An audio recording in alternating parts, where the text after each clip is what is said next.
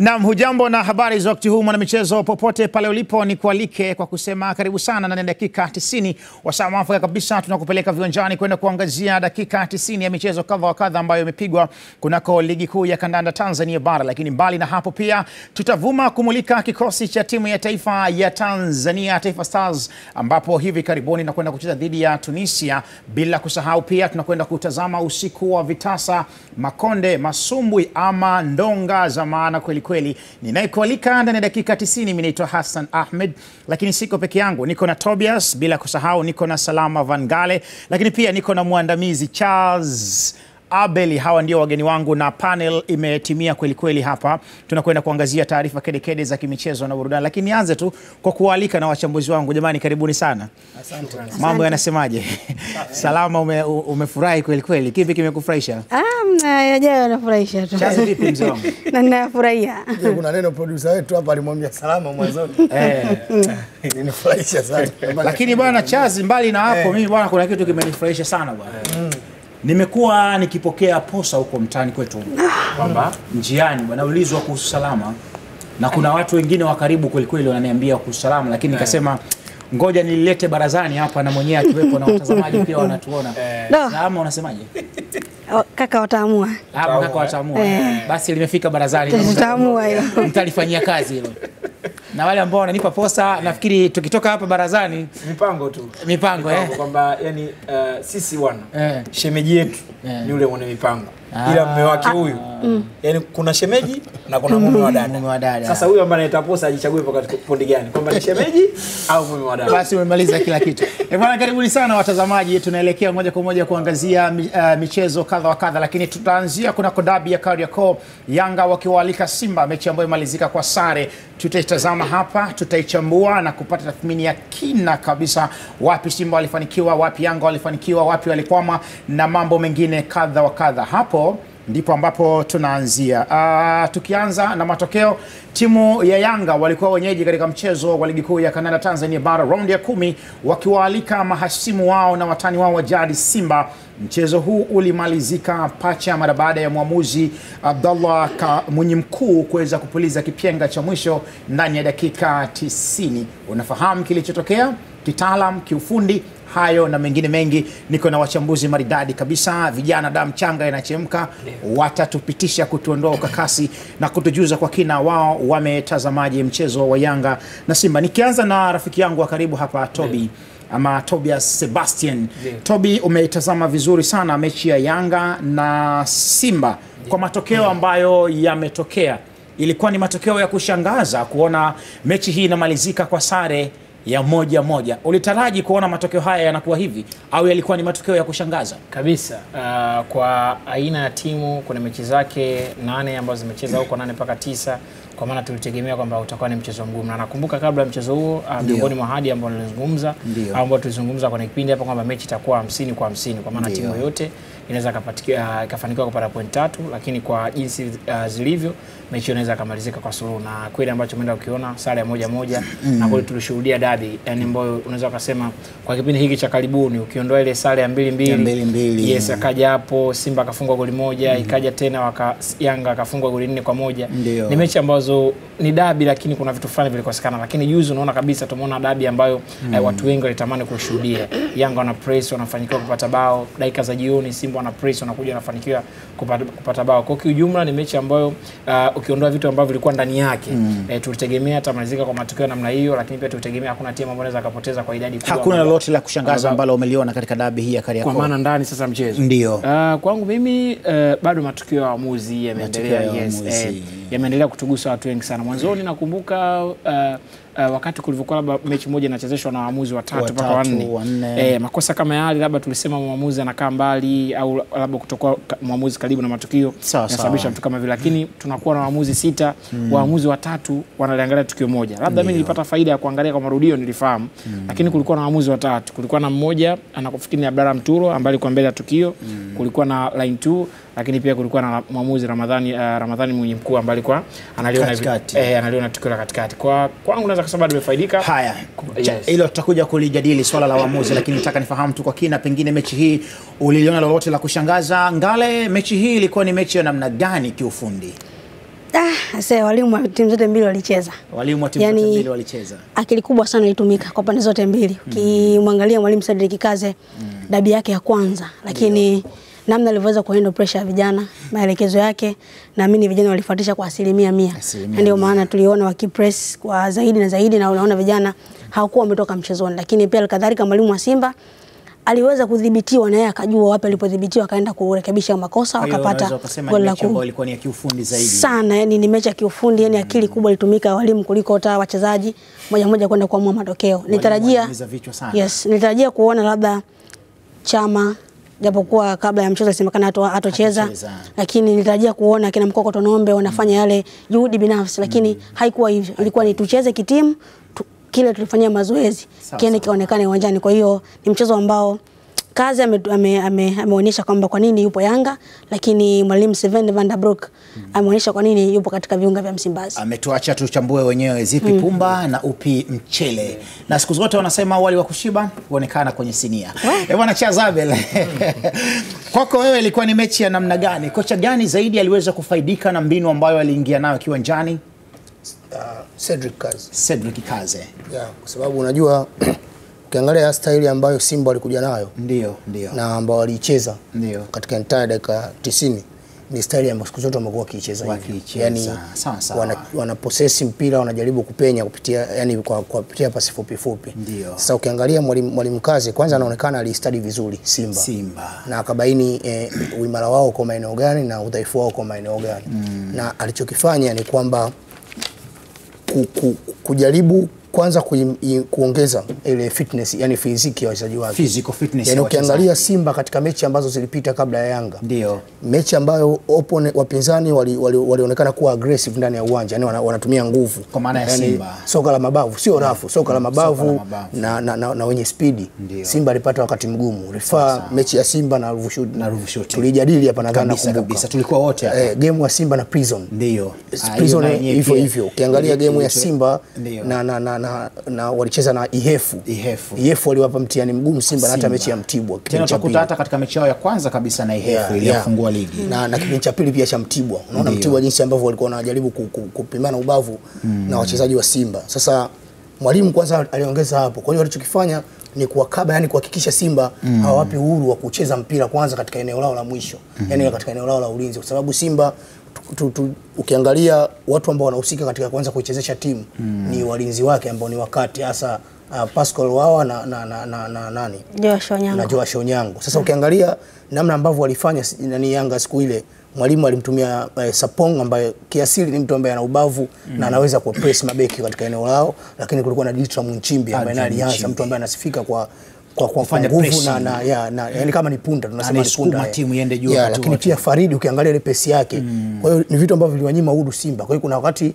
wakawa wanalazimika kuanza mipira mirefu na, uki, na wakati huo wanaanza tayari kina Mukoko wameshawafikia kina Clatous Chama na kina, kina Luis Mixon. Ukiangalia ile mechi wachezaji wa Yanga walikuwa haw- hawatoi umbali angalau hata mita moja kwa kwa wachezaji wa Simba kwa sababu wanafahamu kwamba mtu kama Chama, mtu kama Louis Mixon, mtu kama Luis Lali Baria ukimpa nafasi ya kuenjoy mpira akaupata akafanya movement ya dakika moja, maana yake unajikuta katika wakati mgumu. Sawa sawa, Charles Abel huyo akipita kuzungumzia kocha ambaye alifanikiwa zaidi, naye amemtaja Cedric Kanze kuwa ni miongoni mwa kocha ambao wamefanikiwa zaidi, hasa kunako kipindi cha kwanza ambapo Yanga walitangulia kupata bao la kutangulia kabla ya Simba kuja kusawazisha.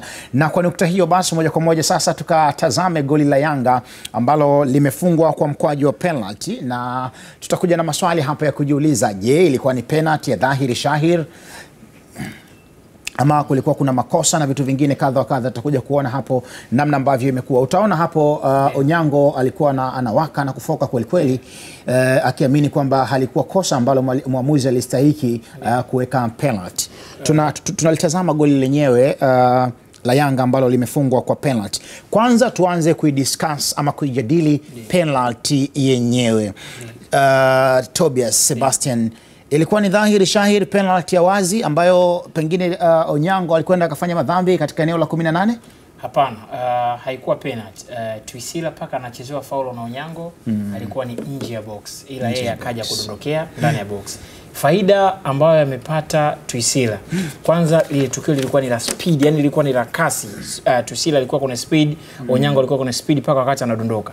Ni uh, unaweza kusema ni mwamuzi, yani awe karibu, yani awe karibu, yani niseme ati hata hatua mbili zisifike, yani hapa mm. na hapa, ili aweza kushuhudia lile tukio. Lakini unaona mwamuzi eh, wa ambaye mwamuzi mwamuzi wakati mwenye mkuu alikuwa kama ana hatua tano mpaka saba. Mm. Uh, msaidizi namba mbili kule naye alikuwa na hatua zaidi ya kumi. Msaidizi na huko ambaye alikaa nyuma ya goli na alikuwa na hatua zaidi ya 15. Kwa tukio hili muona hapa hapa follow eh, foul hapa, huyo Onyango ameshadondoka, ni nje kabisa. Sawa. Yes, tukio hili tunaanzia pale Onyango alipodondoka na alipomgusa Twisila kwa mara ya mwisho kabisa, yes, alikuwa ni nje kabisa, lakini Twisila akafaidika kwenda kudondokea ndani. Lakini Ahmed, niongezee kidogo.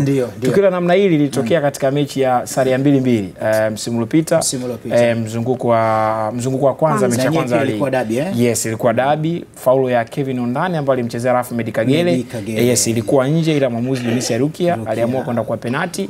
Ahmed Kagere akaenda kufunga bao la kwanza. na wachambuzi mko makini, mna kazi ya kuunganisha dots tu. Mmetoa ile ya kule katika mechi iliyopita, mmekuja mmeiweka na hii kunako mechi ambayo imemalizika siku chache hapa nyuma zilizopita. Salama Ngale, kwako unasemaje? Ilikuwa ni dhahiri shahiri penalty halali Habana. ama mwamuzi hakuiona vizuri? Hapana, haikuwa penalty, Haikuwa haikuwa penalty. tukuja ku- kuvutana na Charles Yani, yani, sio sio sio tukuvutana.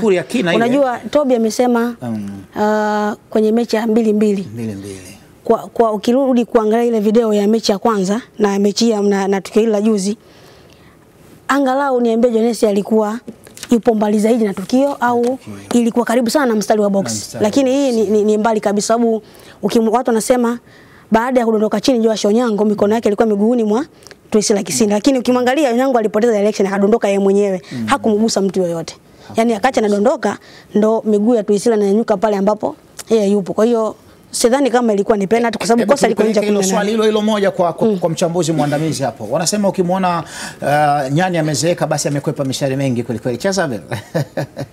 mi amna penalty Hakuna penalty. Leo uko Yani- uko- uko yani- meza moja leo. kwa sababu imeshatokea na watu wamefunga Ndio. ni, ni tunahesabu ni kwamba ni goli na la penalty, lakini kwa kwa kwa kwa, ne, kwa, kwa nature ile tukio na hiyo foul jinsi ilivyofanyika Na faida ya picha za marejeo alicheza eh, na faida ya picha za marejeo. Ndio. Onyango alicheza foul nje ya box katika mstari wa kuingilia kwenye box ila mm. Aa, ni kwamba mimi ai hii kwa, kwa, kwa nature ile tukio mm. kumlaumu mwamuzi wa kati nashindwa Ndio nilikuwa nakuja sasa hapo. Waamuzi wasaidizi wana jukumu la kumsaidia mwamuzi wa katikati ambaye alikuwa ni Abdullah Mwinyi Mkuu. Waliifanya kazi yao inavyostahiki. yani kwanza mimi binafsi kwa hili tukio nimesikitika sana yani kwa sababu limetokea sehemu ambako mm. kwa mwamuzi ambaye miongoni mwa waamuzi wasaidizi bora kabisa Tanzania Ndio. Mohamed Mkono ni refa wa FIFA kutoka Tanga. kutoka Tanga. Yani kwanza ni mwamuzi ambaye mara nyingi amekuwa yani ubora wake mimi sina shaka nao, Kumkuti kwenye makosa madogo madogo. lakini ukifuatilia movement ya ile tukio Ndio, ndio, mpaka kisinda anadondoka Anadondoka. Mkono alikuwa amebaki kule, yani hata kibendera akikunyanyuka. Akikunyanyuka, kama unafuatilia vizuri, ilikuwa kibendera kiko chini. Pengine wakituletea marejeo ya picha tutaliona vizuri, na mpaka filimbi mwamuzi ananyoosha kwamba ni penalty, bado mkono amebaki.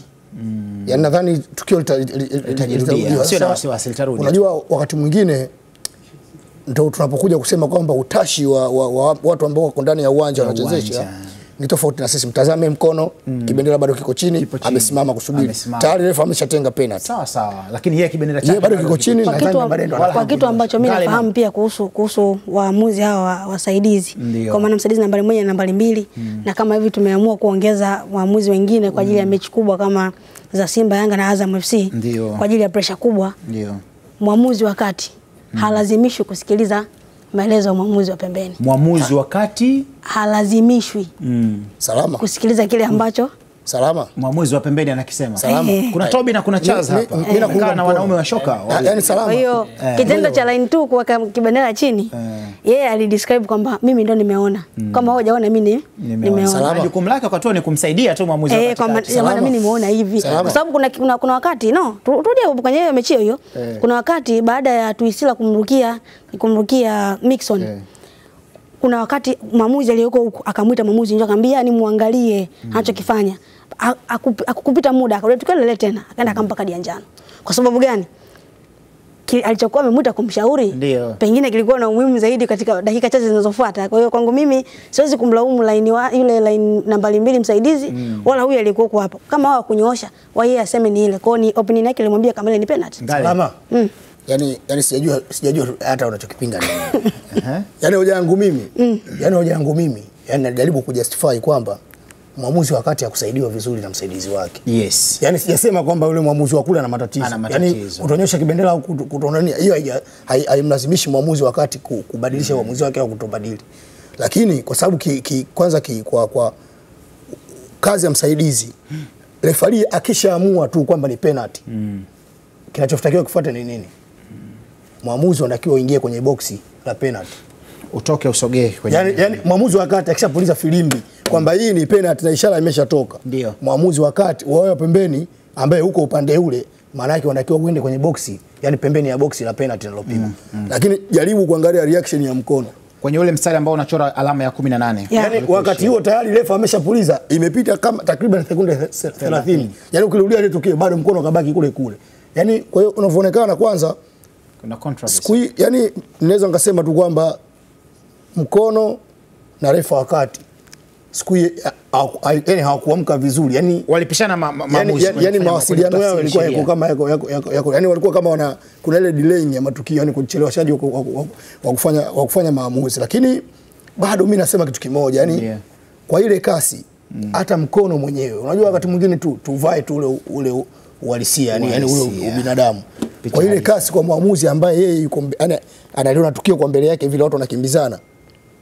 Kwa sababu pale ina maana uangalie movement ya mpira mm. uangalie movement movement ya wachezaji lakini pia uangalie mipaka ya uwanja yani ya, ya ile box. Sawa sawa nakuelewa vizuri. Yalikuwa ni mazingira magumu sana kwa mwamuzi. Yani unajua wakati mwingine ni bora utoe mm. kuliko usitoe. Ni bora utoe? Yani kuna wakati yani ni bora utoe mm. kuliko usitoe. Kwa sababu hebu tu imagine kama asingetoa afu kweli Kisinda akachezewa ndani ya box. Tungepata ukakasi. Lakini anakuwa pia ukisema kwamba kama asingetoa alafu kachezewa ndani ya box. Ile ametoa lakini pia hakuchezewa ndani ya box.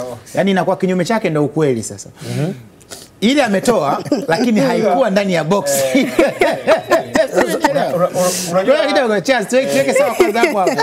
Ile ametoa ametoa penalty. Eh. lakini kwa maelezo yako ya awali haikuwa penalty sahihi. Yeah. ya haikuwa penalty sahihi. Sasa na, na, na faulu nyingi ambazo bora? Hapa? yani Hakuna cha shida bora, kubwa. bora kutafsiri sheria katika usawa wake.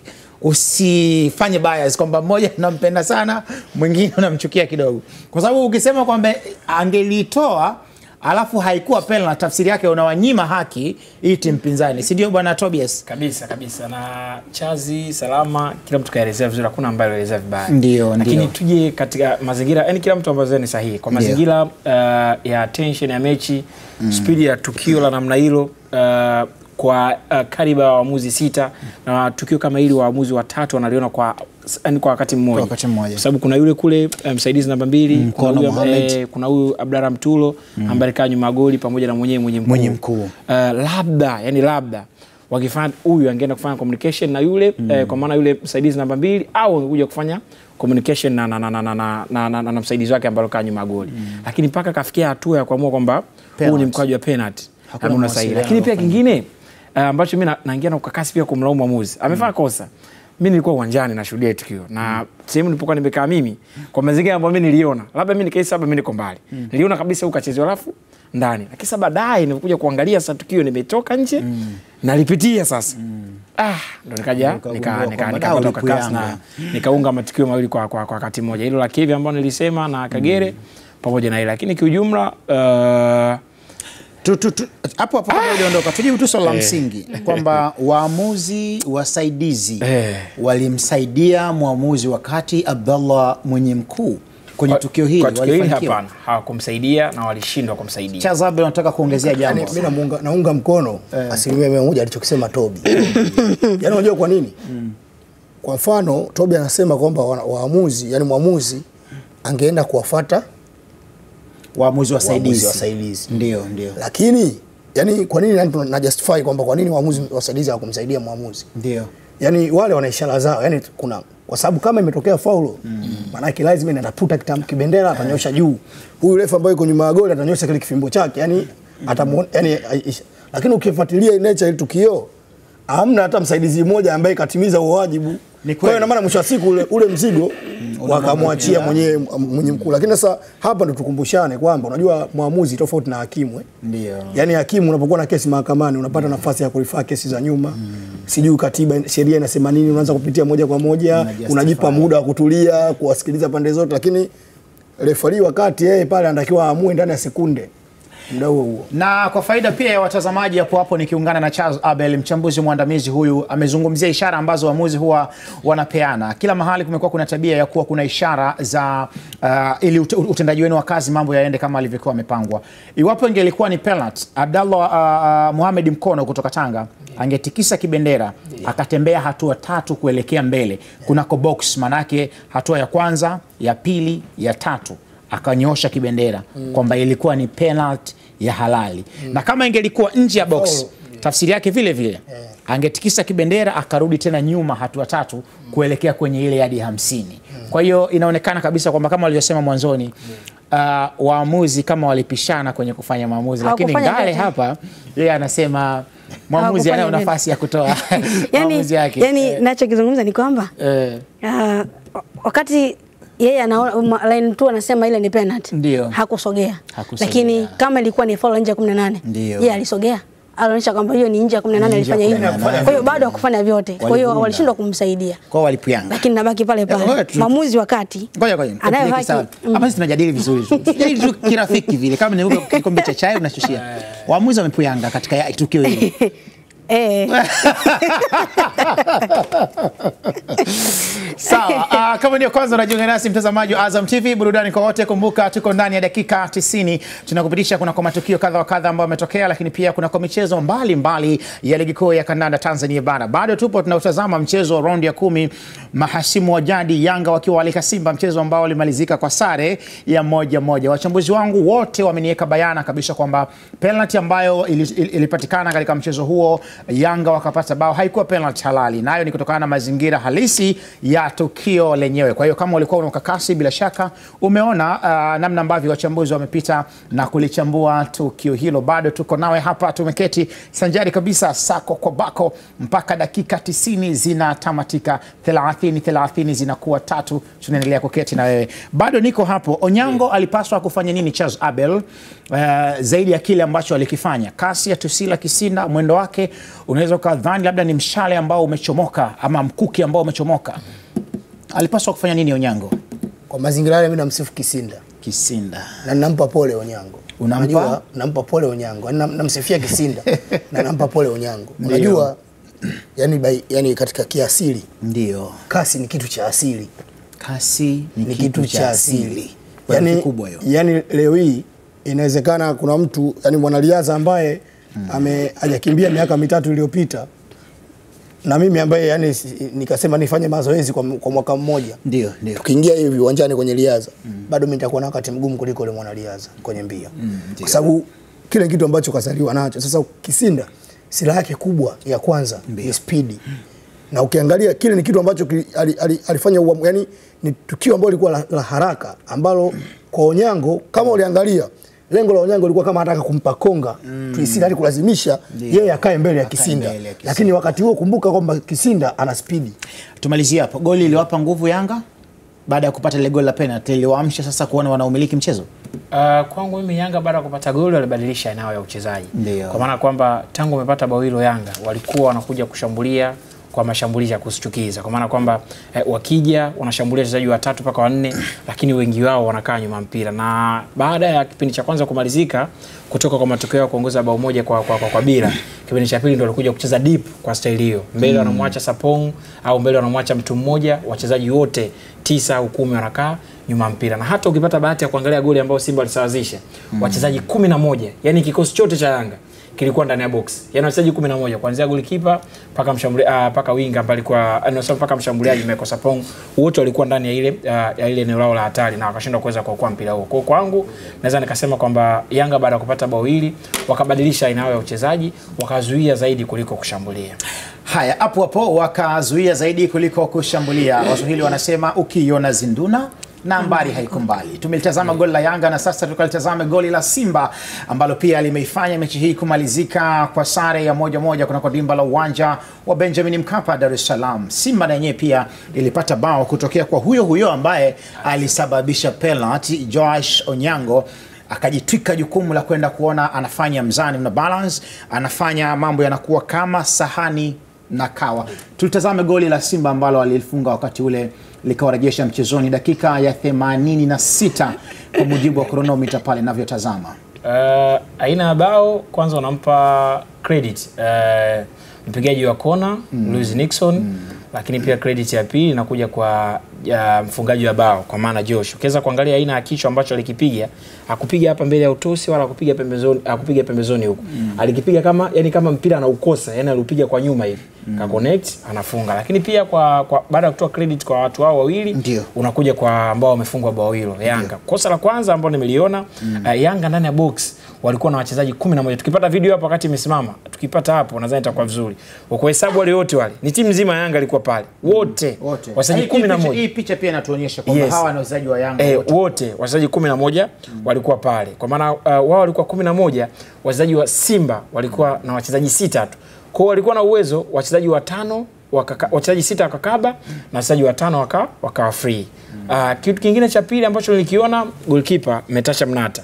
Kwanza wakati anaenda kucheza ule mpira wakati kona imepigwa na Luis Yeah. alienda kujificha mgongoni mwa, mwa, mwa, mwa, mwa mchezaji wa Yanga. Yaani alienda mgongoni mwa mchezaji wa Yanga. Paka anakuja kutambua kwamba huu mpira utui hapa kuwapisha hawa wachezaji kwenda kufuata ule mpira Yeah. alikuwa ameshachelewa kama sekunde moja au mbili. Lakini pia kitu kingine uh, Bakari Nondo Mwamnyeto uh, ambaye aliruka na mfungaji kwa maana ya Josh Onyango unamwona yes, yes Bakari ndo alikuwa mbele uh, alikuwa na nafasi ya kuweza kuona mpira uh, mawili uh, aucheze au basi hata akishindwa kucheza mm. amsumbue huyu ambaye anakuja kucheza mpira. mpira. lakini unaona kama Bakari alifunikwa Josh anaenda anapiga mpira ule kwa kichwa lakini kingine cha mwisho ambacho nikiona Faisal Salum ndo mtu ambaye alikuwa ana mark Josh Onyango ukipata mwanzo kabisa Mm. Uh, unamwona Fei yule anavukwa eh, yes Fei yule pale anavukwa huyo huyu Fei umeona eh? mgongoni yani mgongoni kwake Josh anapita Yeah, yes unamwona yule ni Fei yuko huru lakini pia mbele yake Lakini kulia kuna kibwana pale mbele. Ah, yule,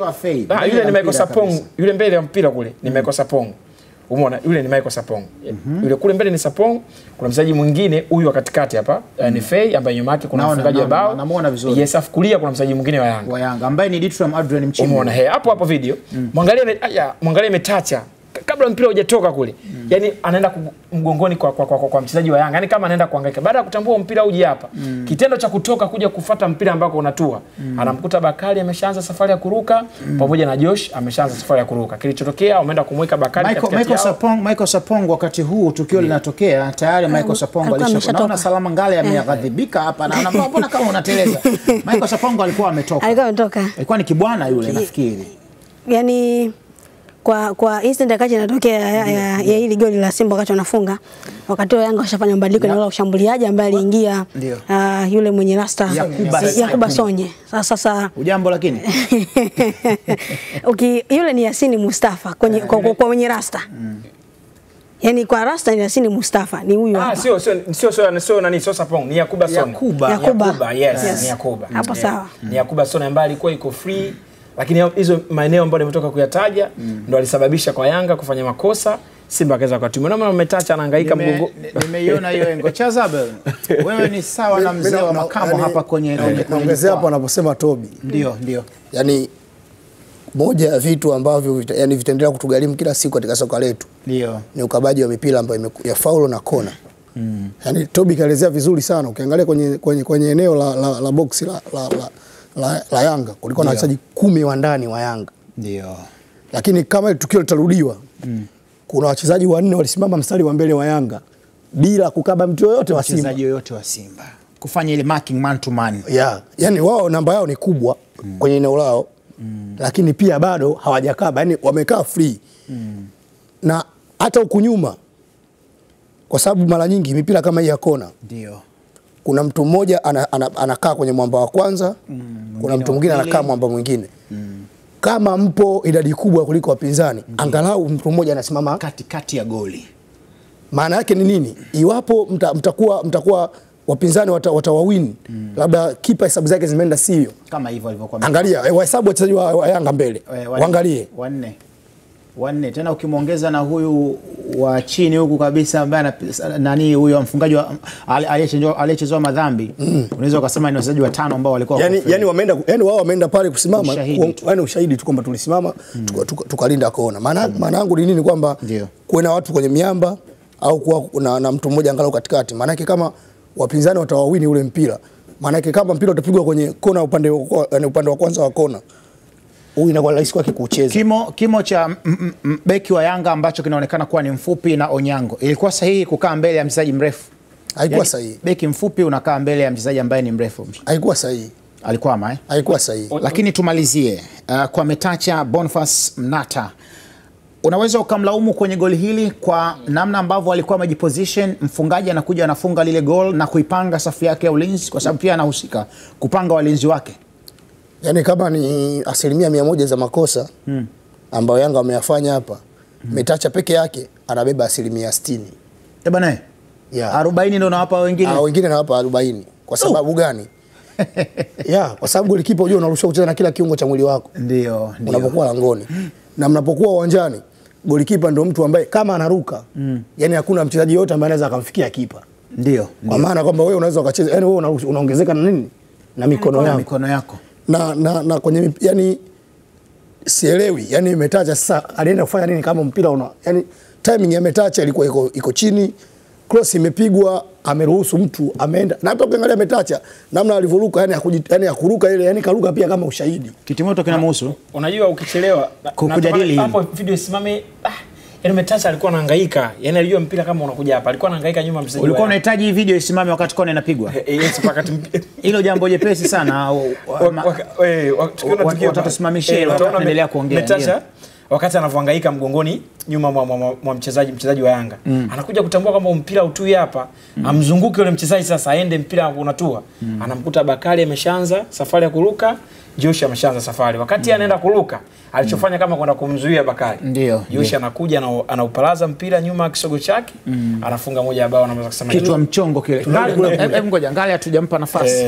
Dada, hebu zungumza na wewe kidogo. Kama kama wakaka wamekuzidi, wamevurugwa. Unajua ukiangalia situation ambayo inatokea. unamwona Metasha pale aliposimama. Speak kidogo, Toby. yani Eh, wakati. Tobi anasema Metasha alikuwa amejificha nyuma ya mtu manake bado pia alikuwa anasikilizia kwamba huyo ambaye anajificha kwake pengine awe wa kwanza kucheza mpira. Kitu ambacho yeye ndo anatakiwa kuwa mtu wa kwanza kucheza mpira tena kwa mikono mm. kwa sababu ukiwa unaruka ambapo anazungumza Charles kwamba goalkeeper katika eneo lako unashika mpira na kitu chochote mm. yani kiungo chochote mm. mkono kichwa mguu ni sawa lakini pia goalkeeper pale alipo alikuwa na advantage kwamba nikisukuma kidogo tu mm. itapuliza filimbi ya foul nimechezewa foul ini eneo langu si ndivyo lakini kwa alichokifanya Metacha yani namwona anaruka kama enda kumsukuma mtu na ila hali Onyango kacha naruka hakukuwa na mtu mwenye hate ambao alikuwa anaruka inafanana sawa sawa na ndio maana Josh akawa wa kwanza kugusa mpira kuliko mchezaji yote ule wa Yanga ambavyo nilikuwa. kwa hiyo Yanga ni kama vile nitakuwa narudia leo kusema ndani ya dakika 90 hapa.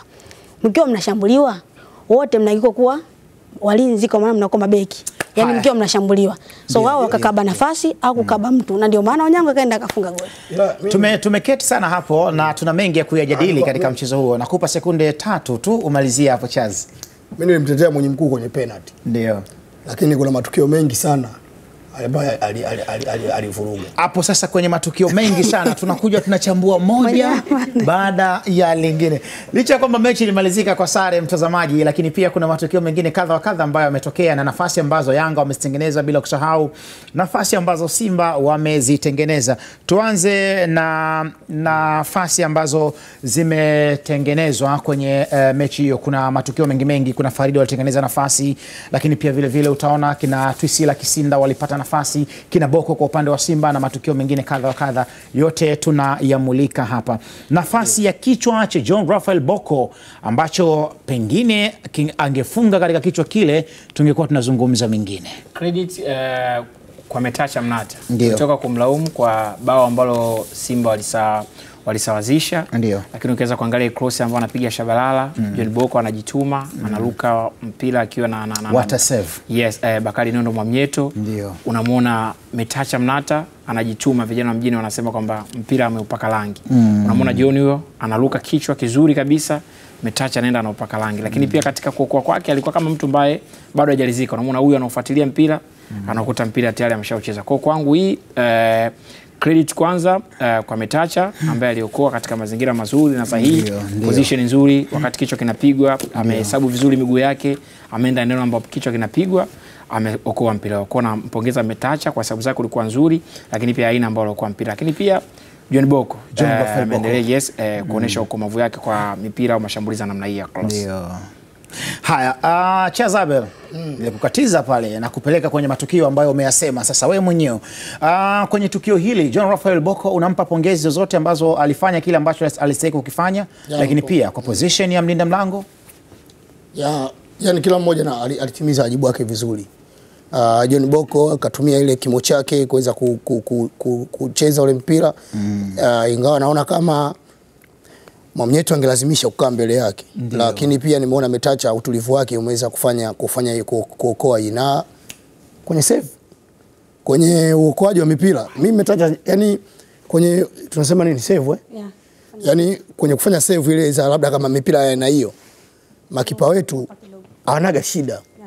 Yani hawanaga shida hata kidogo, lakini kuna zile kuna zile eh, tunasema ni nini yani sifa zingine za msingi za goalkeeper za ukipa yani wanakuwa yani kuna wajibu wao kama makipa ah, waga hawautimizi. Uh, kwa mfano umeona kama hiyo tunaona timing ya krosi tunaona inawapa shida, lakini tunaona pia kwenye, kwenye mawasiliano na, na ukuta wao ni changamoto. Lakini kwa La- mwenyewe pia ukimwangalia Eh, mm. anakosa na tunasema utulivu akipata mpira, yani shambulizi limepigwa, eh. akiupata mpira anakosa utulivu, akiwa na mpira mguuni kutoa pasi kidogo haiendi katika eneo husika, ni tofauti na na labda magolikipa wa, wa maeneo mengine ambayo tumekuwa tukiwatazama mm. kwa katika, katika mchezo wa mpira wa miguu, lakini kwenye hili shambulio pia unaweza ukasema mabeki wa Yanga walikuwa wapi hapo? walikuwepo na kwenye kuwepo kwao maana yake kuwepo katika eneo husika. Kwa sababu gani? Simba kipindi cha pili wakati washatanguliwa tayari Ndio. no, unaweza kuona kama vile walikuwa wameamka au walikuwa wametoka kutoka usingizini kuja kutafuta goli la kusawazisha, ilhali wakawa wanajaribu kucheza michezo, mi- mi- misingi yao ile ile kwamba tutafungua pembeni, tutapiga cross alafu mtu tena atafunga, kitu ambacho John Boko pia hakuwa katika wakati mzuri. Kwa hiyo kutimiza majukumu ni jambo moja, lakini kudhamiria yale majukumu yako yatimie ni jambo lingine. Asante mchambuzi wa Mbagala, salama pangani. Mchambuzi matata pia ukitaka kumpata unampata kunako sports Bando ya U Live ya 107.3 salama Vangale. Huyu dada hapa ambaye nimeanza kupokea pokea taarifa zake za posa mara nyingi. Twende moja kwa moja kwenye tukio lingine la Faridi Musa Shah, na ni miongoni mwa tukio ambayo Yanga walipata nafasi lakini Faridi akashindwa kumalizia uh, sahani ya biriani ambayo ilikuwa karibu kabisa na meza yake ya chakula. Bwana, mechi ndio ilikuwa inaishia hapa. Mechi ilikuwa inaishia e, yani kwangu mimi mechi ilikuwa inaishia hapa. Kwanza uh, credit nyingi kwanza kwa Michael Sapong. Michael Sapong. Yes, wakati mpira Hasini Mustafa anaurusha mm. Michael mgongoni kwake kulikuwa na uh, Pasco Wawa. Ndio, CJ. Yes, Segi Pasco Wawa anamuondoa Pasco, anamweka tena mgongoni. Yaani anamuondoa, anaugadi mpira, anamuondoa, anamweka tena mgongoni. Anaingia mpaka kwenye 18. 18. Uh, yes, uh, anafika sehemu ambayo uh, kwa kwa karibu uh, angalia mpira wakati unarushwa nachozungumza. Yes, mgongoni kwa kuna pass Umeona huyo? Kambeba. Hiyo ni credit ya kwanza. Anakuja anaingia hapo impossible Yengo, hapo hawezi kufunga.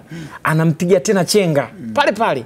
Kama anaingia, anatani kulia, ile, anampiga ile zamani wakati mimi nacheza tulikuwa tunaita kama namupa kumbe na munyima ile. Yes, anampiga tena chenga. Angalia hapo, anampiga tena chenga, anakuja kuweka pasi laini kabisa. Faridi Musa yeye na wavu. Bora ingekuja kwenye mguu wa kulia. Mimi binafsi ningesema labda Faridi Sio kuja kwa sababu mguu wake mguu wa eh wa kupandia kitandani. Lakini umekuja kwenye mpira umekuja kwenye mguu wake wa kupandia kitandani. Mzee. mguu wake wa kulia ambao mguu wake wa kushoto ambayo yes alikuwa kazi yake ni connect unaweza kufunga lakini eh, sio ni pressure ya mechi au sio ya aina ya shambulizi lilivyokuwa au walikosa utulivu unaona mpira unakuja kwangu mimi naamini ndio nafasi ambayo Yanga wana kill match lakini Faridi ameconnect vibaya mpira ameupasha hapo kwenye kukill match yani mm -hmm. nampongeza sana mwalimu Kaze. Watu wengi tunaangalia tu kwamba bora Faridi na Tuisila Kisindi, lakini tunasahau majukumu yao ya msingi wakati wanaanza kwenye hii mechi, yani mm. kikosi jinsi kilivyotoka. Labda tungesema walikuwa ni mawinga wanakimbia sana pembeni, lakini Ndiyo. mara nyingi unaona wakipata mipira wanamwangalia wao wana Onyango mbele ya uso wao, sio pembeni. Yani wao mimi nakuja, kama unaweza kunizuia nizuie, na kitu ambacho kinatokea kwa Onyango, mimi nakuja, kama unaweza mm. nizuie. Ndio maana ile hata ile penalty ambayo ilipatikana kule ambayo tumesema hapa kama sio penalty, lakini ni juhudi pia za za mwalimu kwamba kumwambia kamfanyie hivi, unaenda kakae mbele yake, ili tunaenda kufanyia nini na tunaweza kunufaika vipi. Kwa hiyo kiufundi kiufundi kaze Kaze unampa dole. Chazabel, uh. Seje wao alishindwa kabisa kumkaba Michael Sapong. Kwa njia mbali kabisa tukio tunaliona. Ah, unajua si, siwezi nika, nikasema moja kwa moja kwamba alishindwa kabisa kumkaba. Ndio. Sababu kusema kama yani kuna mipira ambayo tuliona wao wakipola kwa Michael Sapong. Nzuri. Unajua ndo mimi niseme tu kwamba Michael Sapong alikuwa me, alikuwa na siku nzuri. Yaani kiukweli lazima tumpongeze kwa hivyo. Alijiandaa kukabiliana na, na, na walinzi wa Simba na pengine alishaufahamu udhaifu wao ni nini. Unajua mtu kama Sergei Wawa silaha ya kwanza ambayo siku zote amekuwa akitumia ni, ni, ni, ni, ni ubavu. Faridi angefunga pale mechi ingekuwa imeisha pale pale. tunalitazama bao la Faridi, lakini Yanga walikuwa na uwezo wa kumaliza mechi mwanzoni mwa kipindi cha kwanza. Tuisila Kisinda alipigwa pasi ambayo anamtazama Aishi Manula Aishi Salman. akampa, yani akapiga shuti ya fifu ambalo Eh, alikuwa. Kwa hiyo yani hii ni mechi ambayo ilionyesha utofauti kati ya mbinu na, na kucheza ya mpira. Unajua yani Simba walichezea zaidi mpira, lakini Yanga walikuwa na mbinu, kwa sababu ukiangalia nafasi ambazo Yanga walitengeneza japo hawakumiliki sana mpira mm. ni nafasi za hatari kuliko ambazo Simba walitengeneza, kwa sababu Yanga walitengeneza nafasi ambazo washambuliaji wanatazamana na kipa, yani wanatazamana na kipa na wanatazamana na lango, lakini Simba ukiangalia hata nafasi ambayo walifunga goli sio nafasi ambayo labda mtu alikuwa anatazamana na lango. hapo hapo sio nafasi ambayo alikuwa anatazamana na lango moja kwa moja. Sasa tunakwenda kwenye mapumziko mafupi, tuna meza mate yenye akili, kisha tarajia tena hapa kwa ajili ya kukupitisha kwenye matukio Naam, marhaba, karibu tena mtazamaji. Tumeshapata hapa ama kumeza mate ambao amekuwa yana akili na tuko vizuri kwelikweli. Sasa kuendelea kukupitisha kwenye matukio kede kede, matukio kadha wa kadha ambayo ametokea kwenye raundi ya kumi ligi kuu ya kandanda Tanzania bara. Uh, mahasimu wa jadi Yanga wakiwaalika Simba, ngoma imelala pacha. Wachambuzi hapa Charles Abel Tobias, lakini pia na mchambuzi wa Mbagala Salama Van Gale wametupitisha kwa uzuri kweli kweli. Sasa tukaitazame nafasi ambayo alipata Faisal Salum Abdullah Fei Toto. Ah, naweza wakasema aliokota dodo chini ya mpapai, lakini ndio hivyo tena, ameshindwa kufanya kile ambacho alipaswa kukifanya. Salama Ngale. Um, Fei amekuwa na tabia ama mm. ya, ku, ya, ku, ya kuwa na shoot nje ya 18 mara kwa mara yeah. na mara nyingi kwa mchezaji ambaye tunasema anatakiwa kufuatisha misingi ya mwalimu. Walimu wengi kwa wanasema fe na anakosa zile tactical discipline kwa lugha ya, ya kukopa kidogo Nidhamu. kwa, yani ya, ya, ya, ya, ya kimbinu mbinu ya, ya kimchezo. Kwa sababu gani? wanatakiwa ufanye tukio kama lile, ukiwa unahakika mpira utaingia wavuni, ili mwalimu amshawishi kwamba siku nyingine nikifanya hivi nitafunga moja kwa moja. Lakini kwa Fei yupo nje ya 18 mbali kabisa, anapiga ana- ana- anapiga shuti ambalo nyingine inayokuja hapa inawezekana ikatupa faida. Ndio. Mm -hmm. Lakini unamuona Fei anapopiga shuti uh, Aisha anaenda anaokoa ule mpira, lakini kama Aisha singepo katika eneo lake ambalo anatakiwa kuwepo, ule mpira asingeugusa na pengine lingekuwa ni goli. Na unamsifia Fei kujaribu kujikunjua kwa dakika kama zile ambazo zilikuwa zimeenda mm -hmm. na Yanga ambao walikuwa wanahitaji kupata alama tatu muhimu. Unaona hata mwalimu Kaze baada ya ile shuti anajiuliza eh, imekuwaje pale ameshindwa kufunga japokuwa yuko mbali, japokuwa pia amekosa hizo hizo, yani amekosa ame, amekosea yani amecheza nje ya mfumo wa mwalimu ambao alitaka kucheza, lakini kuna wakati unasema mbinu Alijaribu vizuri. Yes, yani alijaribu alijaribu vizuri. vizuri. Yeah. Chezabel, nafasi ambayo amepata Faisal Salum Abdullah Feitoto, unamsifu Faisal Feitoto ama unamsifu uh, aliyekimbizwa? Maana Fei ndo alikuwa anamkimbiza, aliyekimbizwa ni Aishi Salum Manula. Kufuata ule mpira, unaweza ukasema alishahama kwenye engo ile, lakini akajikunja tena akaucheza ule mpira. Nani unampa sifa zake katika eneo hili? Tumezoea kumlaumu Aishi, lakini kwa hapa mimi nampongeza. Tumpigie makofi. Aishi hapa katisha. Ehe. Kwa nini unampongeza? Nampongeza kwa sababu kwanza ukiangalia ni mpira ambao hawa Yanga yani kuna ni shambulizi ambalo hakutegemea. Hakutegemea. Kwa umbali ambao yule Faisal alikuwepo na na, na yani ilikuwa kama ni kitu cha ghafla mm. kimekuja wakati huo tayari haipo katika yani haipo katika uelekeo huo, lakini kwa nini nampongeza Fe- Faisal? Ukiangalia namba ya wachezaji wa Yanga mm. walipokuwa baada ya kunasa kufanya kunasa huu mpira hawakuwa na idadi kubwa ya wachezaji katika eneo la Simba na yeah. wachezaji wao ambao walikuwa katika mmoja alikuwa tayari yupo katika eneo la kuotea Yeah. lakini Yakuba alikuwa tayari amekuwa amesha amesha kuwa ndani ya, ndani ya, ya mipaka ya ulinzi ya, ya mchezaji mmoja wa Simba. Kwa hiyo kwa mazingira yake, maana yake ulikuwa na option mbili, aidha Fei apige ama atembee nao au au fiche. na kujaribu kui timu ije, lakini sasa kwa mazingira yale kwa, kwa, kwa muda ule huwezi mpaka timu ije. na ngumu. Charles, hapo hapo ni kuongezee tu kwa faida pia ya watazamaji. Ukikaa kunako vijio vya wapenda soka ama mashabiki wa Simba na Yanga, kuna maneno kadha kadha wanakuwa wanatupiana tupiana. Katika tukio hili nimekutana na mshabiki wa Yanga amesema uh, kule katika hizi timu mbili Simba na Yanga na yeah, timu ambazo zinashiriki ligi kuu Tanzania bara wanasema huwa kuna wachezaji kutoka vis, Tanzania visiwani, yeah, yaani kuna wachezaji kutoka Zanzibar na kuna Feitoto. Sijui umeelewa hiyo statement? Yeah. Kuna wachezaji kutoka Zanzibar mm. na kuna, na kuna Feitoto. Ni kauli tu za mashabiki wa Yanga ambao mara nyingi huwa wana, wanaibuka nazo yanapokuwa yanatokea matukio ya nadra sana na sio aghlab kutokea mchezoni. Unampongeza Aishi Manula ama Faisal Salum Abdullah aliabikiza tu kupiga lile shuti? kabisa yani kama Aisha ingefungwa goli la namna ile ah, sahii sijui nazungumza kitu gani yani. Ndio, ndio. yani hata mimi ningeanza kuangalia magoli ambayo Aisha amefungwa kwa namna hii amefungwa na UDs amefungwa na Mbabane amefungwa na Kosi. ningerudia ningerudisha mafaili yangu nyuma mengi Aishi angefungwa magoli namna hii lakini hiki ambacho amekionyesha hapa kwamba anafanyia kazi makosa yake kwamba amekuwa akifungwa magoli ambayo anatokana na mashuti ya mbali huyu huyu Fei alimfunga katika mechi ya nusu fainali ya, ya, ya, ya FA alipiga shuti la mbali ambayo Aisha alimfunga alifungwa na Mapinduzi Balama lakini hapa amekuja ameonyesha kitu kizuri amefanya Yes, amefanya kazi ya maana sana. Tuende moja kwa moja tukaitazame nafasi ambayo ameipata Simba, lakini hapa nilitazama tukio la faulu ambayo ilifanywa na Twisila Kisinda, na pengine ilikuwa ni nafasi kwa Simba. Kisinda pengine hakuchukua hatua za tahadhari wakati anakwenda kucheza ule mpira. Tuliangalia tukio hilo, alafu pia turudi kwenye mjadala wetu hapa.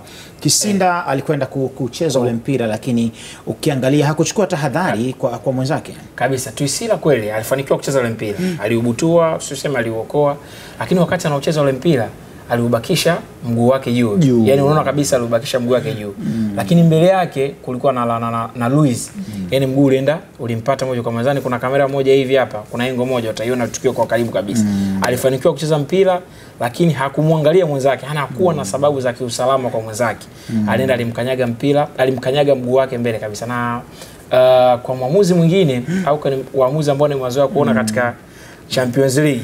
Tukio kama hili ambao wameifanya Tuisila Twisila si nadra, yani si kitu cha kushangaza kuona uh, angepewa kadi nyekundu, lakini nadhani kwetu maamuzi ya mwenye ila nimempenda hapa mwishoni yeah. Tuchazabel Tusila Kisinda wakati anakwenda kuicheza ile foul ilikuwa ni kadi halali ya njano kwa, kwa namna ya tukio ambalo amelifanya. Ile kadi halali nyekundu. yes. Eh bana, ujambo lakini Yaani hata watu sizunguke. Ile kadi halali nyekundu. Sio Yaani hiyo njano. hakustahili. anatakiwa apate kadi nyekundu. Lakini mimi nimependa ungwana wa, wa, Wa wa, wa, kwanza wa Twisila amejaribu kupoa, ame- ame- amejibaini makosa ambayo alifanya, lakini tazama Mwamnyeto, mtazame Mkoko Tonombe, mtazame John Boko, namna ambavyo walikuwa wanapoza ile nanili purukushani za pande zote mbili. Yani hii ndio tafsiri ya maana ya mchezaji mkubwa. Ndio. Unajua mchezaji Sasa- mkubwa, matukio kama haya yanapotokea Ndio, ndio. ni matukio ambayo yanaudhi, lakini wakati mwingine mm. ukiyachochea inazidi Yeah. kuwa hatari mbaya zaidi kuliko, kuliko, kuliko maelezo. Sasa kama ni tazame kazi kwanza, jinsi ambavyo ile tukio, yani kocha mwenyewe alikuwa shakata tamaa, anajua yani likirudia hapo utamuona kazi yani mwenyewe hii inaingia kwenye aina ya yale ya matukio, ilikuwa ni reckless foul. ya, Yeah. hii ni, ni foul ya ya hatari ambayo pia kutolinda usalama wa mwenzio. Eh, Sasa kama, kama tunasema unamsifia John Boko unamsifia Tuisila kwenye kupoza ile ile tempa Ndiyo. katika lile tukio. Mixon mwenyewe alikuwa maskini ya Mungu ha, yupo katika kipengele cha kulalama, yani ni yupo tu kwa sababu nishafanyiwa na nishafanyiwa na ishatokea. Ah. Na amekuwa ni mtu wa karibu na ame- amefanyiwa matukio mengi sana katika baadhi ya mechi, lakini humuone kilalamika, atabimbilika, kanyanyuka, anyuka na zake. Kwa hiyo jamaa ame amekomaa sana kisaikolojia. Salama, unajua kila mtu alivyozaliwa, kila mtu anapokea upokeaji wake matukio. Kwa hiyo jamaa Karibu na- Dilunga, Dilunga ametoka mbali mrefu sana unajua. Dilunga Hassan Dilunga eh. bwana, bana tutakuwa tumekaa sana hapo kuitazama dabi ya Kariakoo Yanga katika Simba, mechi ambayo ilimalizika kwa sare ya moja moja. Yako mengi matukio ambayo yametokea, lakini muda umekuwa sio rafiki sana, na sasa tuhame hapo na tunatia nanga kuiangalia timu ya taifa ya Tanzania, Taifa Stars. Unafahamu kwamba tunakwenda uh, kuania kufuzu fainali za mataifa ya Afrika, yani AFCON. Tunakwenda tena ama twenzetu Tena. tena kauli mbiu yetu ndio hiyo eh, twenzetu tena. Tena. tena. Haya, tuimulike timu ya taifa ya Tanzania, lakini kwanza tukianzia kunako kikosi cha timu ya taifa ya Tanzania. Kikosi bwana kimeainisha wachezaji kadha wa kadha, lakini kwanza ni kutajie tu makipa ambao wameanza, atakuja na mabeki kisha tumalizie uh, wafungaji ama mastrika. Juma Kaseja kutokea KMC, Metacha Mnata kutokea Young Africans, Aishi Manula Simba, David Mapigano, Robert Kisu Azam. Mabeki ni pamoja na Uh, Deus David Kaseke, Bakari Nondo Mwamnyeto, Abdullah Shaibu Ninja uh, kutoka Yanga, Shomari Kapombe Simba, Mohamed Hussein Zimbwe Simba, Erasto Nyoni uh, Simba, Bryson David KMC, Abdullah Kheri Azam. Upande wa viungo tunaye Jonas Gerard Mkude nungunungu huyu, mm -hmm. Saidi Hamisi Ndemla, Muzamil Yasin Said na uh, tunaye Himidi Mau Mkami akitoka Egypt kule, Simon Happy Good Msuva anatokea Morocco Faisal Salum Abdullah, Feitoto Ali Msengi, uh, South Africa anacheza. Salum Abubakar Salum Sure Boy ni miongoni mwa wachezaji pia ambao wamepata bahati ya kuitwa. Lakini kwa upande wa washambuliaji tunao washambuliaji wengi sana ambao wameitwa, miongoni mwao ni pamoja na Ditram Adrian Mchimbi, uh, Faisal Salum Abdullah, Feitoto ni Faridi Musa, kumradhi, Faridi Musa Maliki akitokea Yanga, Idi Suleiman wanamwita Nado kutokea Azam, Thomas Ulimwengu, TP Englaba Mazembe, lakini pia tunaye Adam Wadam kutoka JKT Tanzania. Amekuwa kiboko huyu bwana mwiba, sasa hivi unaweza kusema ni mkuki uh, wenye sumu kali kweli kweli. Adam Wadam kutoka JKT Tanzania, lakini pia Mbwana Ali Samata Fenerbahce ya Uturuki hao ndio uh, wachezaji ambao nimekutajia. Kama kuna mmoja ambaye ametajwa mawili nime, kuwatanya kuwataja, basi na shaka tutawajalizia kikosi ambacho kimeitwa na mwalimu Etienne. Tukianza na mama Salama Ngale, juzi tu umetoka kuchukua kozi yako ya ukoch intermediate ile kama mwalimu eh, amechukua Eh, intermediate preliminary. Eh, Preliminary. preliminary, preliminary, Preliminary. preliminary. Eh, intermediate. Eh, bwana. Preliminary. Tunaanza na kocha ambaye na preliminary. Kocha, tupe vitu. Huyu bwana asisikie jambo. kikosi bwana asisikie jambo. Ujambo? Shikamoo. Eh, tuende kwenye kikosi unakionaje? Kikosi kime kime balance. Anasema hakuna kiji ambacho kinakosa wazee. Tuanzie hapo kidogo. Kusikia jina Erasto Nyoni kidogo nasema yes. Mzee amekuja lakini uwepo wa Juma uh, Kaseja Mzee naye. nika- yeah, mzee naye kwa sababu ana ana wagaidi sasa kutumika sana, pia umri kidogo umesogea, ana ana wagaidi vizuri. Tuachane na maneno ya mtaani, turudi kwenye uhalisia wa mambo alivyo. Kwa hiyo kama mtu tangu 96 anacheza, ndio kusema kusemaje? Yes, so hivyo. Na ukiangalia hebu tulieni. Kwa hiyo ukiangalia uh, Metacha uh, David Kisu Aisha unajifunza kwa, kwa, kwa Juma Kaseja, maanake anajifunza vitu vingi sana, namna ya control mambo, ku handle pressure na vitu vingine vingi. Ukiangalia eneo la ushambuliaji almost wote ambao tutakiwa kuona wameitwa kuitwa wameitwa. Adamu Adamu watu wengi watakuwa na, wanakuwa surprise, lakini mimi kitu ambacho naamini mm. current performance, yani performance yako ya kipindi hiko wakati timu inaitwa imekukuta ukiwa wapi. So watu wasiulize kwa nini Adamu Adamu anaitwa. Katika mechi zake mbili alizocheza za mwisho kafunga magoli matano kama sijakosea. Kwa maana yake Tatu za mwisho. tatu kafunga magoli matano, maana yake inampa yani inampandisha hadhi kutoka pale alipokuwa kwenye kufunga goli moja mpaka kumpeleka katika njoo, kwa sababu umefunga katika current performance ya, ya, ya timu zako mechi zako za mwisho, mm. njoo ucheze. Kwa hiyo yeye ngapi umesema? matano Na ana hat-trick. ya ana hat-trick moja ana mechi ya goli lake la kwanza kwenye dhidi ya, ya Kagera Sugar nakumbuka, na, na, na Azam FC pia alifunga. Kwa hiyo amekuwa na, na, na, na wakati mzuri kwa kiasi hiko kwa mechi za karibuni, lakini kurudi katika eneo la kiungo mm. almost wengi ambao tutarajia kuwaona kina Mkude ndio wao ambao wameitwa. Kwa hiyo ni kikosi ambacho mimi kimebalance, na pengine watu wengi wanauliza kwa nini Deus Kaseke ameshusha sehemu mabeki mm. Tumemwona mwalimu wa Yanga katika baadhi ya mechi akimshusha chini kumshusha kama beki wa kushoto. Kwa hiyo uh, unamwona ni, ni beki wa kulia. mm. Kwa unaweza kusema kuna wakati anaweza akashuka chini akacheza ama anaweza kucheza kama wing back akapanda kushambulia na kuja kusaidia ma- kukaba. Kwa hiyo ni kikosi ambacho kwangu mimi kipo Cheza mbele, tumetoka kumsikia mwalimu wa mpira hapo Salama mm. Van Gale, lakini mm. sasa tuzitazame mechi mbili za timu ya taifa ya Tanzania dhidi ya Tunisia. Zina maana gani kunako soka letu na soka la, la, la Afrika kwa ujumla wake? Shughuli pevu. Shughuli nzito. Yeah, of course unajua ni, ni mechi ngumu na ni mechi ngumu hasa kwa upande wetu kwa sababu mm. lazima tukubali kwamba Tunisia ni timu bora na ni timu nzuri. Haina wachezaji wenye majina, haina wachezaji ambao labda ni mastaa wenye majina makubwa, lakini ile uwezo wao kujitolea na, na ubora wao unawafanya Tunisia wawe na timu nzuri. Mm. Kwenye viwango vya ubora wako nafasi ya 26 kidunia. Kwa hiyo sio timu ya kubedha. Mm. Ah, nadhani ni mechi ambayo tunahitaji kuwa na nidhamu kubwa sana ya mbinu ambazo mwalimu atazitoa, kwa sababu tunakutana na timu ambayo inajua kutumia zaidi nafasi na ni timu ambayo inacheza kwa spidi muda wote. Kwa hiyo kama kama wachezaji wetu watashika wata, wata, wata, wata, wata, wata, wata, wata na kukifanyia kazi kile ambacho benchi la ufundi litawapa tuna uwezekano wa kuweza kupambana na Tunisia mm. na ni msifu mwalimu Etienne Daragije ni moja, ni moja wa walimu ambao wamekuwa wakifanya vizuri assignment ya, ku, ya kumsoma mpinzani Ndiyo. na kujua udhaifu wao. mm. Mimi binafsi uteuzi wa mtu kama Kaseke, baadhi ya watu na Ninja Abdalla Shaibu, baadhi ya watu wamekuwa wakileta waki, waki, waki, wakileta doubt, lakini mm. nadhani nilichokiona mwalimu amehitaji zaidi wachezaji wenye commitment. Unajua mtu kama Kaseke sio mchezaji ambaye ana skills, yani ana ufundi sana wa, wa, mpi, wa mpira mm. lakini ni mchezaji ambaye anaweza kushika maagizo ambayo anapewa na anaweza akafanyia kazi. Ukija kwa mtu kama Abdalla Shaibu mm. ni aina ya wachezaji ambao wana, wana, wana hulka hiyo mm. Salama kamzungumzia sana vizuri sana Adamu Adamu. Adamu Adamu sio tu kwamba anabebwa na namba, yani kufunga. Dio. Lakini ni mchezaji ambaye aina ya mabao anayofunga mm. yanaonyesha klasi yake. Unajua mchezaji ambaye kwanza anafunga ugenini, yani mabao yake sita yote ya ligi kuu anafunga viwanja vya ugenini. Lakini pia ni mchezaji ambaye ana uwezo wa kuvunja ukuta wa timu pinzani, yani kwamba anaweza akakaa na mpira au wachezaji ndani ya mabeki wanne akaweza kukusumbuana nao na ku, na, ku, na, ku, na, ku, na kuwafungua na ama kupiga pasi ya mwisho ama kufunga.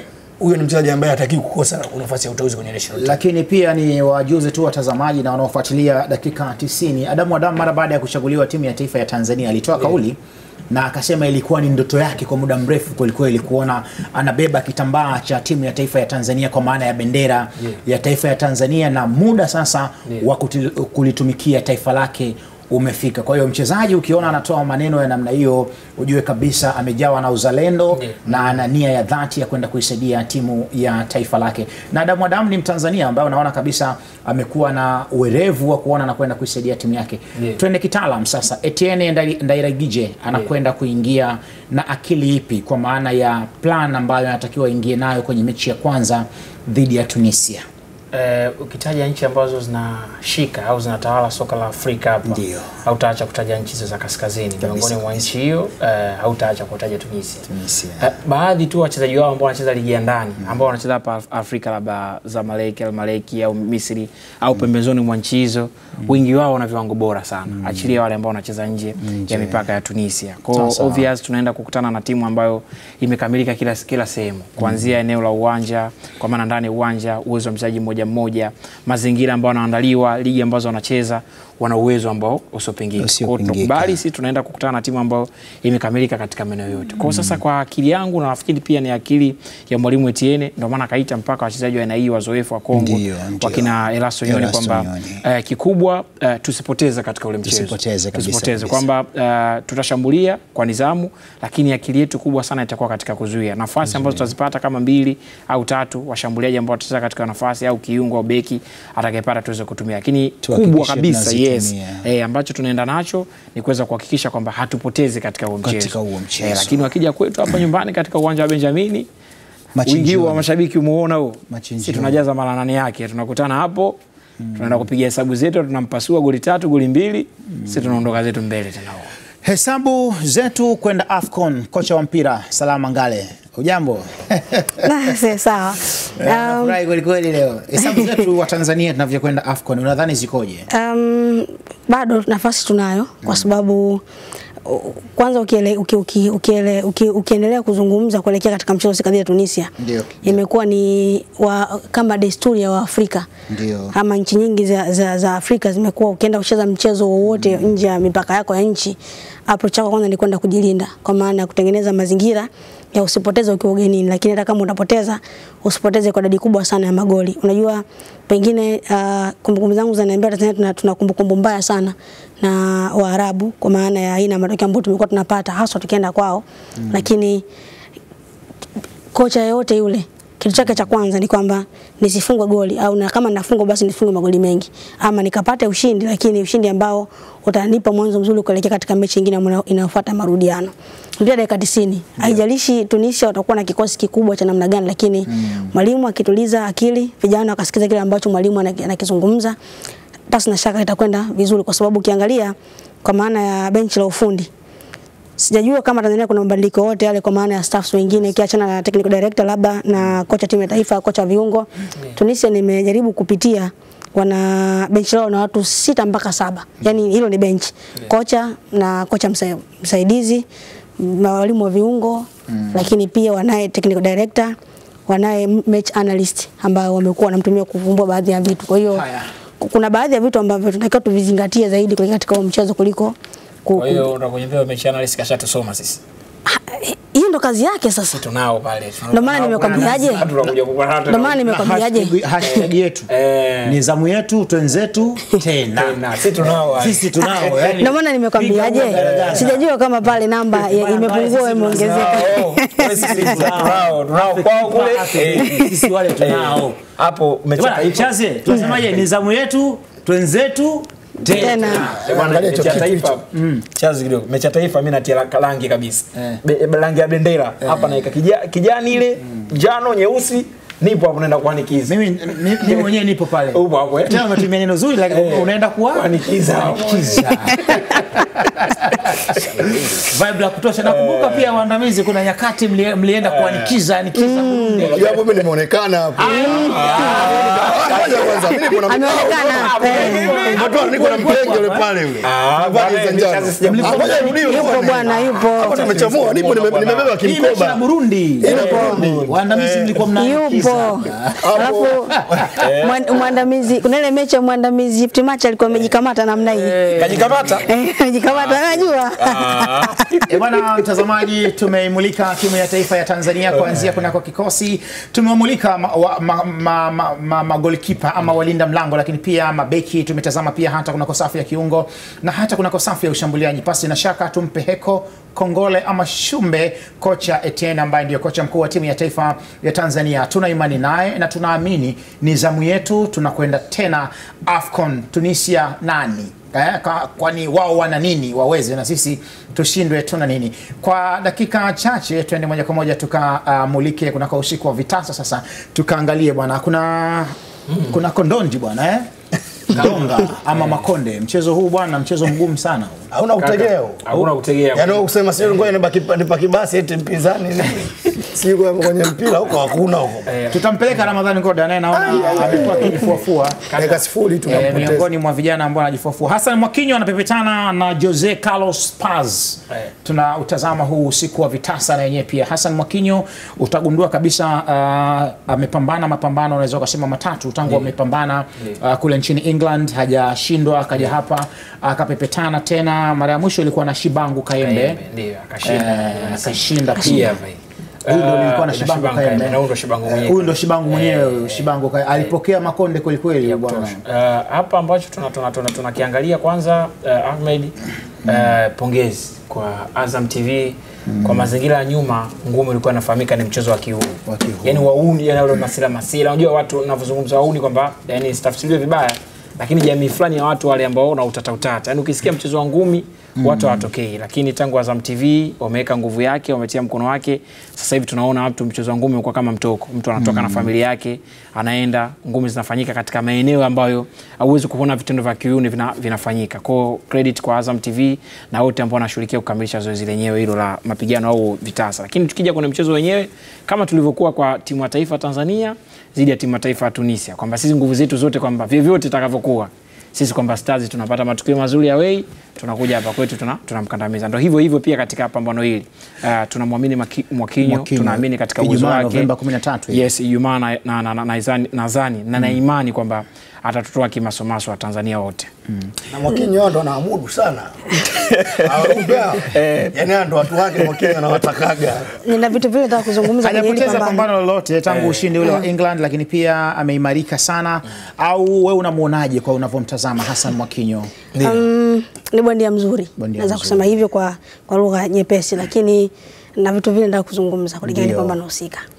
Tumekuwa tukimwona mwanamama anaitwa Pendo Njau mm. amesimama anakuwa amesimama katika katika- baadhi ya matukio ya hata pambano ambalo lilimhusisha toka kiduku juzi mm. na yule uh, Sirimo Kong Lamduang naye pia alikuwa sehemu ya uamuzi wakati yule pale, namzungumzia huyo refari huyo mwanamama hapo. mm. Kwa hiyo ni matarajio yangu pia kuwaona watu wanahusika na masumbwi huyu mwanamama ataendelea kuwepo katika hilo eneo tena yeah. lakini kuelekea katika pambano husika la Mwakinyo, Mwakinyo anatakiwa kutu, kutu, kutu, kutuonyesha kitu kingine cha ziada zaidi na zaidi. Kwa nini? Uh, uki, ukipita katika vijiwe kama ambavyo tumezoea kusema hivyo, kwa maana mtaani unasema Mwakinyo amekuwa ana, ana kwa lugha ya kimpira tunasema ana, ana, anacheza defensive game Ndiyo. akiwa yupo katika uwanja wake wa nyumbani, kitu ambacho mashabiki wengi wamekuwa kilalamika, lakini kwenye masumbwi inakuwa ni tofauti ukienda kuchambua mchezo wenyewe husika, kwa maana ya vote utakavyocheza mm. kinachokwenda ku ku defined mwishoni ni umeshinda mm. na hatuangalii ulishinda kwa staili ipi, kwa sababu pale hakuna beki, hakuna mtu ambaye anaweza kusaidia. Kwa hiyo Hassan Mwakinyo anatakiwa kuzingatia hayo malalamiko watu wengi ambao wamekuwa wakiyatoa, lakini tuna tunasema hata kiuchezaji kwa na bondia ambao nasema mm. wale ma orthodox anatanguliza mguu wa kushoto. Kwa hiyo Meiva salama. Nzuri bwana. Meiva salama. eh? Ah, Kwa kushoto. Orthodox. Tupe vitu. Ngali twende bwana, mbona Tupe mmemkatiza vitu. jamani? Ah, vitu vyake sio mchezo, Eh, wanajua mambo anatanguliza mguu wa kushoto. Orthodox. Ah, nimesema nimesema tumekuwa na aina wa aina hiyo. Kwa hiyo ukimwangalia Mwakinyo anatakiwa kutumia advantage iko kitu kama anatumia mguu wa kushoto basi atuonyeshe, kwa sababu unasema una, unakuwa una, una, una nguvu nyingi sana katika mguu wako wa nyuma, kwa hata namna ya kupu- kupunch kidogo ngumi inakuwa nzito, lakini kuna ile namna ya kuhang kwenye kamba, hiyo pia ni miongoni mwa vitu ambavyo umekuwa watu wasema anapeta zaidi zaidi katika njia za, za yule bondia wa zamani Muhammad Ali mm. amekuwa akipita zaidi katika hizo njia. Sasa uh, pengine anaweza kuja kutuonyesha kitu cha tofauti. Unajua, katika lile pambano la Toa Kiduku na yule Salman Kong jamaa alikuwa kama vile anatania, lakini anasema ngumi ilikuwa ni sehemu ya, ya, ya furaha, kufurahia hata kama ipo ulingoni. Kwa hiyo hata Mwakinyo naamini ilikuwa ni sehemu ambayo atafuta makosa yote ya ambayo watu wengi wamekuwa kilalamika lakini kwa sababu ukimtazama mtu kama Mfaume Mfaume unaenjoy. hata wa- wakati ule wa Rashidi. Matumla Snake Man, unajua uh, zile. okay. Kwa hiyo watu wengi tunashindwa kujua kwamba Mwakinyo ni mtu aina gani kutokana na mazoea. Anthony, Anthony Joshua. Hapana. Kama Anthony Joshua namna ambavyo wanapigana. Hapana. Hebu Tobi, hebu hebu- hebu hebu- hebu mzungumzie Mwakinyo, lakini pia unamwonaje tangu ametoka kwenye mapambano yake uh, amepigana na, na, na, na, na, na, na Shibangu Kayembe Kwanza na anakwenda kupigana usiku wa vitasa Ijumaa Novemba 13. namwona bondia ambaye renki zake kati siku zinazidi kwenda mm. zinazidi kupaa kwa maana kwamba grafu yake inazidi kwenda mbele kwanza uh, amekuwa mzuri. Kwa maana kwamba tulikuwa tukisikia kwamba au tunasikia kwenye ngumi kwamba bondia yeyote ambaye anatoka katika nchi yake kwenda kupigana kwenye nchi nyingine ni ngumu ni ngumu sana kuweza kupata ushindi. Kabisa, lakini kabisa. kwa Mwakinyo limekuwa tofauti. Amekuwa akipata ushindi Uingereza amekuwa akipata ushindi Kenya na ushindi ambao umekuwa hauna kona kona kwa maana kwamba mtu anapigwa anakaa tunachukua tunachukua ushindi tunarudi. Na ndo hivyo hivyo ambacho tunategemea kwenda kukiona katika usiku wa vitasa ambao utakuwa Ijumaa. Haya makonde ambayo tunaona hapa sasa hivi ndo hivyo hivyo ambayo tutaenda kumuona Mwakinyo akifanya. Ukimwona kama brazamini fulani hivi ukimwangalia hapo unaona kama mtu ambaye ana bobish bobish fulani. Lakini kama mmoja anavyosema kwamba ngumi zinauma Uh, kwa staili yake ya kucheza ni mtu ambaye Salama ametoka kuzungumza kama mtu ambaye anazuia zaidi kuliko kushambulia, lakini mchezo wa ngumi Salama ni mchezo wa mahesabu. Unaweza ukataka ushambulie sana, muda huo labda pumzi imekata au pulling imekose, im- imetoka, anakuja mwenzako anakupiga kama pambano lilokuwa yule la la yule. Lazi na- ali- alivyoingia unaona yes huyu bondia akapiga raundi za mwanzo zile akapambana sana lakini mwenzake kuja alimtegea alimpiga ngumi moja tu. Alidondoka chini moja kwa moja. Kwanza kukuta labda hii ni aina yake ya uchezaji ana defend anashambulia kwa wakati ili aweze kumaliza raundi au apate kile ambacho anakitaka. Kwangu uh, Mwakinyo atabaki ni kwa bondia mzuri na ni miongoni mwa wabondia uh, ukiondoa vizazi vya nyuma kwa kizazi chetu sasa hivi anafanya vizuri na anatuwakilisha vizuri taifa la Tanzania katika mchezo wa masumbwi, na mimi naamini hiyo hiyo Ijumaa. Bwana hakuna kona kona. Mapema tu mapema tu tunamkalisha mtu tunachinja Watu wa da ndio awamu hii wana fursa kubwa sana ya kutazama ngumi uh, lakini pia nchi nzima kupitia Azam TV. Unalitazamaji hili? Azam TV watakuwa mubashara kabisa yeah. ama matangazo haya yatakuwa ya papo? kwa hapo Eh, una- una- Unalitazamaji nimetoka kusema mwanzo kwamba uh, uwepo wa Azam TV au kuingia Azam TV kwenye vitasa Ndio. umeleta heshima ya mchezo huu. Mm. kizazi hicho cha nyuma tukawa tunasikia mchezo huu kwa moja ya mchezo si unavutia ukitoa football si nini. Tumesikia lakini sisi kwenye kizazi chetu tukawa tujabahatika kuona. Lakini te, tangu Azam TV wameingia tumeona mapambano ya Mwakinyo watu wanajaa Wanajaa. serikali inatambua viongozi watu wana heshima zake.